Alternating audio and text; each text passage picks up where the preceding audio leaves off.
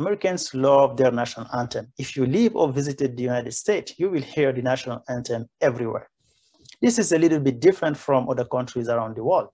For example, in Spain, for a game between Real Madrid Football Club and Barcelona, they will not play the Spanish national anthem. They will just play the Real Madrid private anthem and Barcelona club private anthem in the beginning of the games.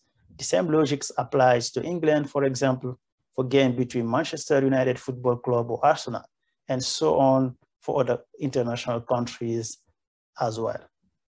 While in the United States, you will hear the national anthem everywhere, not only for the national team games, but also for private franchise sports games like the American football games, baseball games, and others.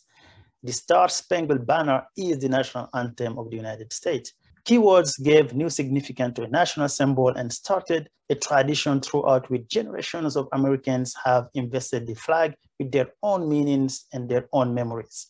You can read and learn more about the American National Anthem at amhistory.si.edu. You can learn more at libraryofcongress.gov and americanhistorama.org.